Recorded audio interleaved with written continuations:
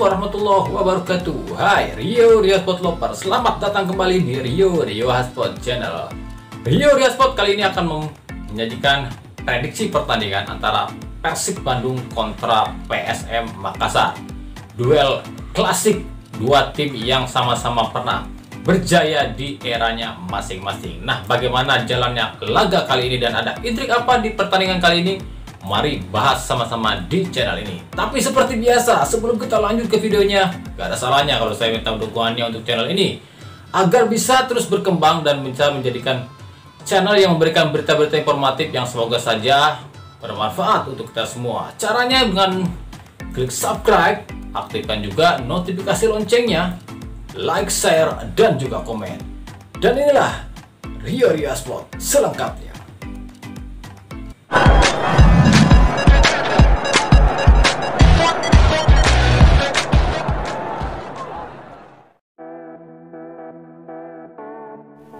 Persib Bandung akan melakoni laga ke-6 pada Sabtu 2 Oktober 2021. Kali ini lawan yang dihadapi adalah tim kuat asal Sulawesi PSM Makassar.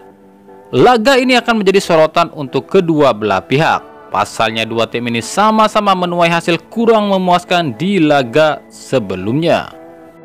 Persib ditahan imbang Persikabo 0-0 sementara PSM ditumbangkan Barito Putra dengan skor 0-2. Duel ini dilabeli duel klasik, dua tim terusik. Ya, kenapa terusik? Karena dua tim ini adalah dua tim yang berjaya di eranya. Dua tim tua di Indonesia, namun di musim ini dua tim ini seperti terusik oleh tim-tim lain. Persib memang sempat berjaya di awal musim dengan mencetak dua kali kemenangan beruntun. Namun setelah itu gaya permainan Persib seperti terbaca oleh lawan-lawannya yang sudah mulai berkembang. Alhasil tiga kali hasil imbang dialami Persib. Berbeda cerita yang dialami PSM, mengawali laga dengan dua kali imbang, lalu coba bangkit di pekan ketiga dengan menang atas Persebaya dan Persik Kediri, namun justru mendapat tamparan keras di laga terakhir oleh Barito Putra dengan kekalahan perdana musim ini.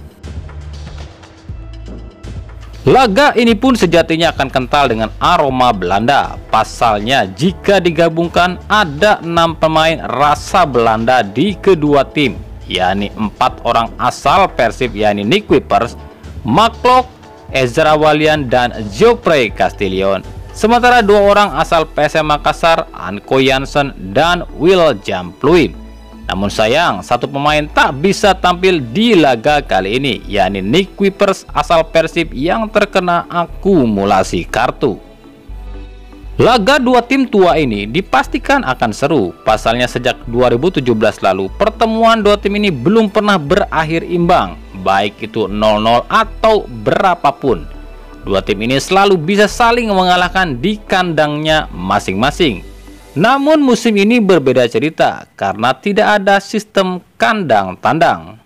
Di pertemuan terakhir pada 2019 lalu, kembali dua tim ini saling mengalahkan. PSM menang 3-1 kala main di kandangnya, sementara Persib pun menang 5-2 saat bermain di kandangnya di Bandung. Di tabel klasemen sementara hingga berita ini diturunkan, Persib masih berada di posisi 3 dengan 9 poin hasil dari dua kali menang dan tiga kali imbang. Sementara PSM di urutan kelima dengan raihan 8 poin hasil dua kali menang, dua kali imbang dan satu kali kalah.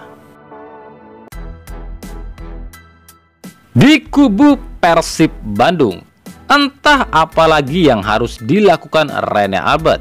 Padahal ia telah mencoba mengganti gaya permainan di laga terakhir dengan merotasi beberapa pemain. Namun hasilnya tetap tak maksimal. Meskipun di pertandingan terakhir Persib telah lebih tajam, namun penyelesaian akhir yang buruk membuat peluang itu pun sia-sia. Tentu saja permasalahan utama ada di lini depan. Wander Lewis yang dipercaya pun masih belum bisa keluar dari performa buruknya. Kritikan terus berdatangan, bukan hanya dari Bobotoh, manajemen, bahkan dari mantan pemain dan mantan pelatih Persib. Seperti yang dilakukan oleh Boyan Malisik. Dalam akun Instagramnya, Boyan mengkritik gaya permainan Persib yang monoton dan tanpa arah. Unggahan ini pun kemudian dikomentari oleh mantan pemain sekaligus pelatih Persib, Milian Radovic, dengan memposting dirinya saat masih melatih Persib. Rene Albert disalahkan karena terlalu percaya pada pemain-pemain yang ada tanpa banyak melakukan belanja pada awal musim ini. Bahkan keputusan Rene Albert yang tetap mempertahankan Wander Lewis dan Jeffrey Castillion pun kini dipertanyakan. Khususnya Castillion. Kala itu manajemen telah membuang Castillion dengan meminjamkannya ke Italia dan menawarkan striker baru namun hal itu ditolak Rene Albert yang masih percaya pada Castillion. Tapi kini keputusan ini dipertanyakan.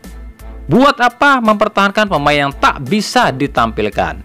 Seandainya kala itu Rene Albert melepas Castillion dan mengambil striker baru yang lebih fresh, mungkin ceritanya akan berbeda kini. Kini menghadapi PSM Makassar. Tak ada yang bisa dilakukan Rene Albert selain memaksimalkan pemain yang ada. Bahkan, mau tak mau Rene Albert harus menurunkan Castillion karena jika tidak, nasib Rene Albert pun bisa ditentukan di laga ini.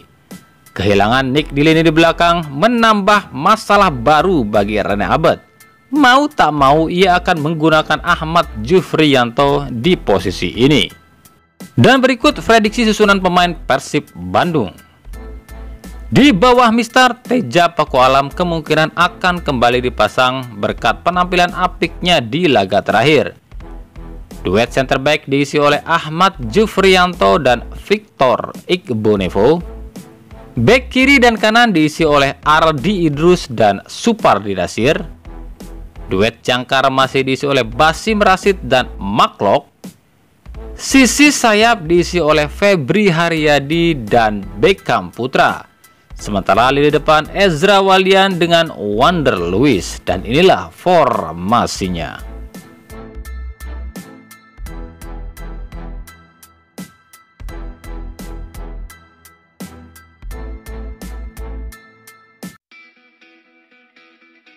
Sementara di kubu PSM Makassar, kekalahan atas Barito menjadi pelajaran berharga bagi tim asuhan Milomir Cecilia. Bahkan pelatih asal Bosnia ini mengatakan Barito pantas untuk menang karena pemain PSM di laga kala itu kehilangan fokus pada permainan. Gaya permainan PSM mulai terbaca oleh lawan, yakni bertumpu pada dua Belanda William Pluim dan Anko Jansen.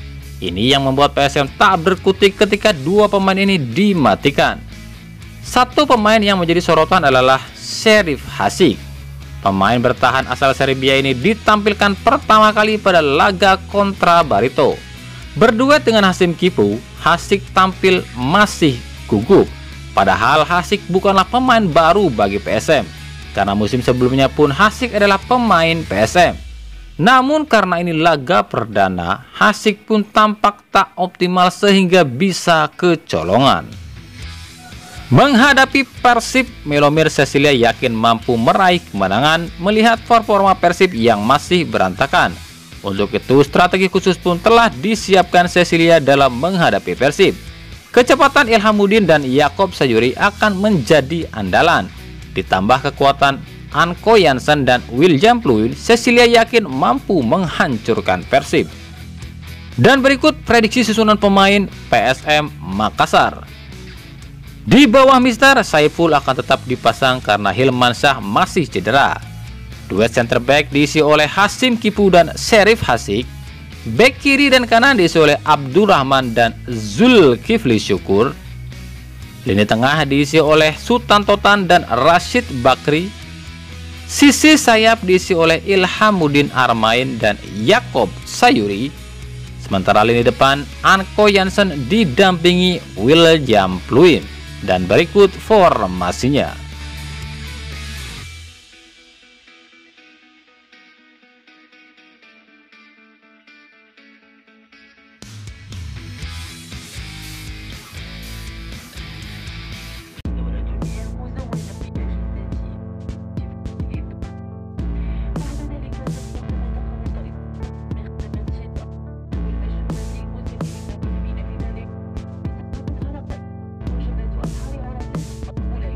Banyak pengamat mengatakan PSM akan mampu mengalahkan Persib karena posisi Persib yang semakin tertekan harus menang sementara PSM noting tulus. Namun ini bisa berbalik jika Persib bisa bermain tenang dan bermain rileks. Hmm, laga yang sangat menarik untuk disaksikan. Laga ini rencananya akan disiarkan secara langsung pada Sabtu 2 Oktober 2021 mulai pukul 19.30 waktu Indonesia Barat di Indosiar langsung dari Stadion Indomik Arena. Namun kami meminta maaf jika ada perubahan jadwal dan waktu karena jadwal dan waktu bisa berubah sewaktu-waktu tergantung keputusan dari sang pemilik siar yaitu Indosiar. Banyak prediksi yang mengatakan jika PSM akan bisa mengalahkan Persib di laga kali ini. Mengingat kondisi Persib yang sekarang tengah penuh dengan tekanan. Tapi segala sesuatu bisa terjadi dalam dunia sepak bola. Makanya simak terus pertandingannya. Dan ikuti terus berita seputar sepak bola khususnya Liga Indonesia dan pernak-perniknya hanya di Rio Rio Sport. Terima kasih yang telah menyaksikan video ini dan mengunjungi channel ini. Kritik dan saran kita, nanti, kita nantikan di kolom komentar atau di media-media sosial kami yang ada di bawah ini. Sampai jumpa di video selanjutnya dan salam Rio Rio Sport.